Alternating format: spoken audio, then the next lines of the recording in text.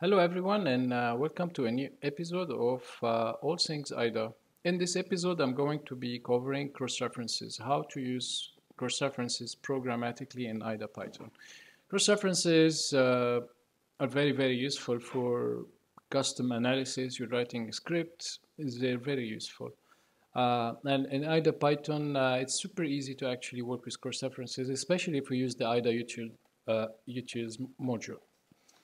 So as usual, I'm going to start with the SDK.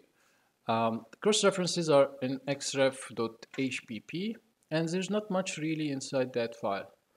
Um, we have the code cross-reference types. These are the, when we get a cross-reference block, as we'll see, we can check if it's a code or data cross-reference, and based on is code or not, we can check then for those flag FLCF or dr something. So for code cross references, we have a call cross reference, we have a jump far, jump near or flow, call near. For data references, we have uh, write reference, read reference, and of course, uh, execute is basically a code cross reference. so for data, it could be read, could be written to or offset. And there's some archaic other uh, references. I personally have rarely seen these. These like say uh, Java processor modules and whatnot. Uh, I am yet to see a DRI.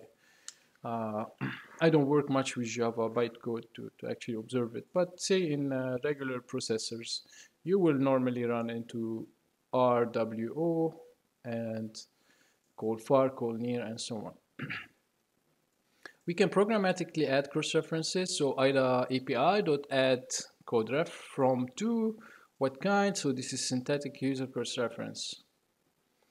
We can delete data cross-reference, IDA API.deltref as well. Delete code cross-reference and the xref block. So this is uh, basically a utility class where we can use in such a manner. We define an xref block and then we uh, start the enumeration uh, using one of the directions. Are we dealing, are we gonna ask cross-references uh, to a given address? So that means we're asking, we're answering the question. So if we're here, the cross-references, if I am on a given address, I can ask the question, give me the cross-references leading to this location. So this is xrefs 2. So let's call this F4. So if I want to programmatically get all the cross references uh, leading to F4, I'm going to do this code pattern. First two, and then next two, iterates, and then I can ask the from from the block xb or xref block dot from. So I start with two, and then gives me the from, which means who refers to this location. And we can do the opposite the opposite, if, uh, if we are at a call site, so I'm at an address, and I ask the question cross-references from, means from here, where can we go from here? And so we start the iteration uh, uh in a different manner. We start from a given starting point. Where can we possibly go to? Now the cross-references from giving us a set of two is useful, let's say, uh, in, in uh, addresses that have multiple destinations. This is like a switch. Let's find a switch. And a switch is a, is a is gonna be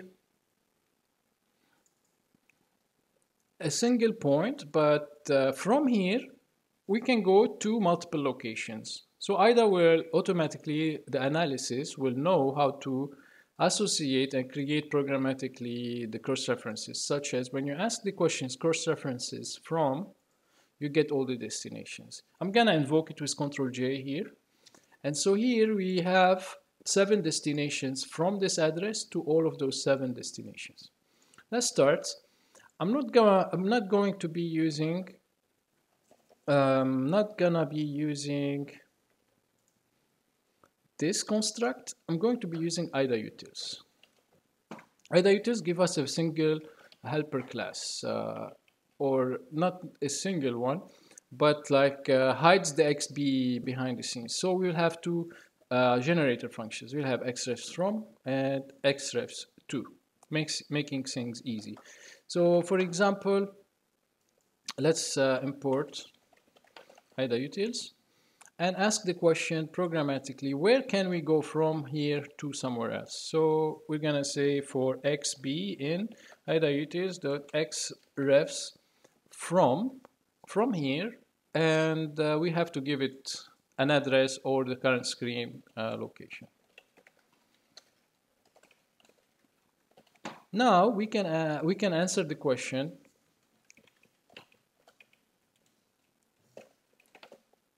leads to xb.2 and just for uh, illustration we can say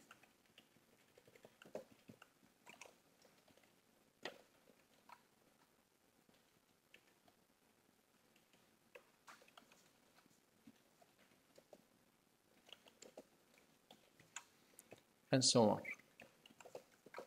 Let's see.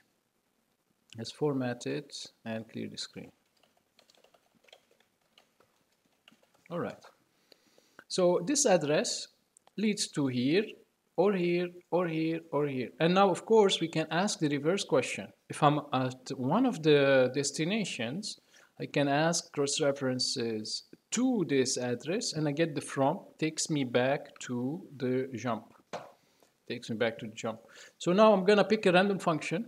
So here let's call this uh, xrefs from and we're gonna do uh, cross references too. So I'm gonna position myself at a function and then ask who cross references that function.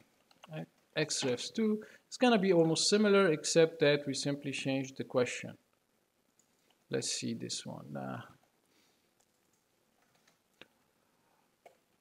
Okay, so now it makes it a bit attractive to create a uh, create a small script that returns the most referenced function, for example. That's a nice uh, exercise. Maybe we can finish with. Uh, let's see. All right, so this this function here has a couple of callers, but we're gonna write the most popular function. So we wanna know who who reaches uh, this one. So same story. EA now uh, ref, uh, accessed accessed by we switch it to xrefs2 and accept from. Now we cannot use the word from because from is a reserved keyword in Python so it has been renamed only in Python. Uh, here if we go to the xref block it is called from but uh, when we wrapped it in IDA Python we changed it and by the way, uh, here, remember the code. So we can check if it's code reference. So let's distinguish. So we have uh, two uh, calls, procedures here, uh, call nears, and one uh, data cross-reference of type offset. So we can actually test for that. And I forgot to mention it earlier and, the previous snippet. But here, First, let's uh, display everything without distinguishing. So without distinguishing, we'll get everything like this, three uh, rows. We got this, this, and this. Now let's say we don't care about the data. So we can say if uh, if not xb.iscode, uh, just skip it, run it. Let me see. You see again, same story, get screen EA. So let's go back to a proper invocation point. Uh, all right, so this is where we wanna either would have hard coded or I would not necessarily have to hard code. I, I could have said EA equal IDA API dot uh, get name EA takes uh, an address where from and the name. It then gives us an EA. So here get name EA. I'm gonna say bad address. I'm not looking for local names. And just uh, let's say resolve it by name and, and that will be safer than uh, let's say uh, screen EA so I don't care now wherever I'm positioned. Alright so this should display now at F6 it should give us only two because we skipped anything that's not code. Alright so here we have uh, this one and this one. Now the one more thing I would like to mention is if we look at the cross-reference types, they're serial. They're not uh, bit fields. They're not orderable flags. So that means if we have a data item, data item will make more sense to you, uh, a variable, a global variable, maybe it is being written to and read from. Then we will have two entries for a single address. One will be DRW, one will be DRR. So keep that in mind. That you might encounter the same address multiple times and the difference would be only the cross-reference type. So let's display the type real quick. 17 which is of course we only filter for is code and so that means it's, it's gonna be f uh, FLCN or something uh, so here FLCN and that's what we see the 17 here let's remove that filter you'll notice now we have one this is for the data here 0 1 is an offset cross reference is it if we go here to F6, we do have an offset cross reference. so this uh, from N2. Now let's finally make a busy uh, func. Um, if you recall from previous videos, we know how to enumerate functions. So we're gonna enumerate functions. And uh, I, don't know how to do it yet. I'm, I'm, gonna maybe edit it in a second, but let's see for um, we're to enumerate functions. We get the function starts. And now for every function, we want to count uh, all uh, code cross references to it. We can filter what kind of code cross reference as well and so on. So I'm just now just is code. I don't care if it's called near, go far, and so on. Um, so we have the function EA now. Let's uh, check this and count them here. We have to enumerate, unfortunately. Uh, I, am not aware of a method to say get cross-reference counts. So we'll have to do a simple dummy loop. Uh, um, so we're asking who refers to that function that we just enumerated. Let's just uh, uh count. If is code, let's just uh, count it here, C. And here we can simply say tally of uh,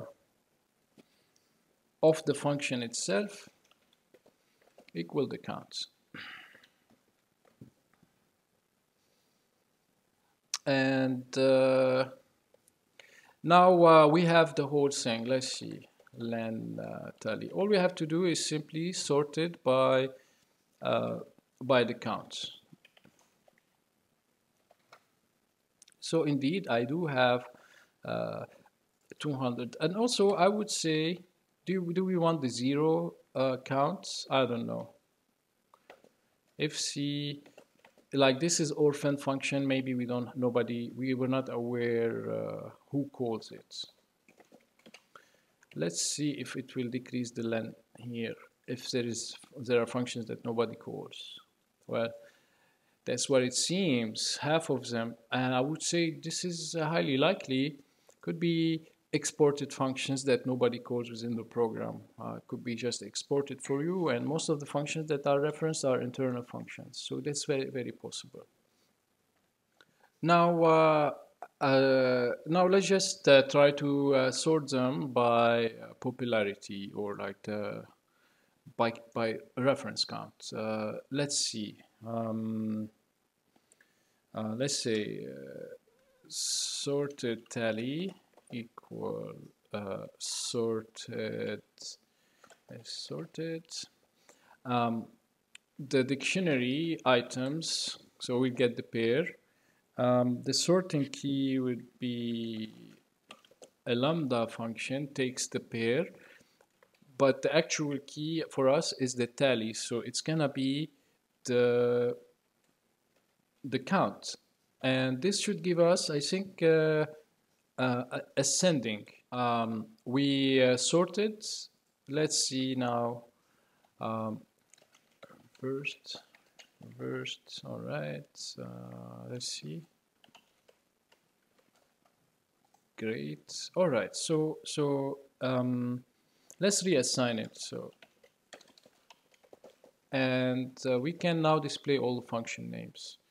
So um, the key is the function start. So func EA called counts in sorted tally dot items and print f we can display func EA but it's not nice we're gonna display the name as well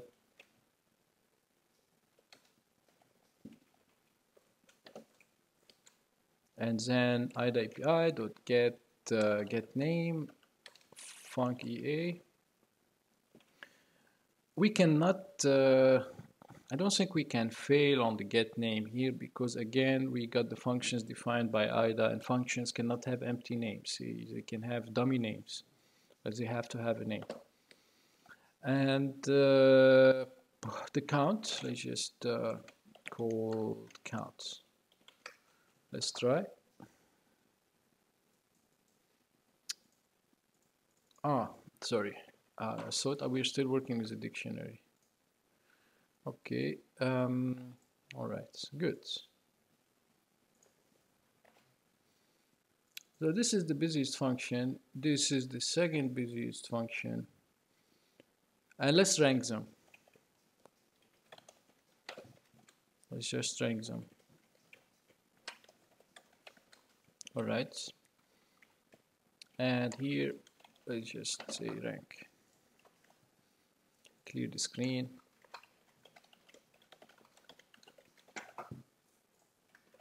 And let's uh, I think called start. Great. All right. So like this would be uh, something curious. Like why is this the, have the, the most called function in kernel32 could be some kind of a logging function maybe. Yeah. It's always getting like uh, a string and some message and so on. So it makes sense. Move comes number eight. Sign function. It's called 56 time in kernel32 interesting. This is, it, this is the whole script if you want to uh, have the busiest function for example. Really we used functions from before. We used cross references we filter out non-code cross references filter out uh, zero cross references and uh, and then sort them. All right uh, so that's it for today. I hope you found uh, as well another episode useful uh, and uh, I'll see you next time. Thank you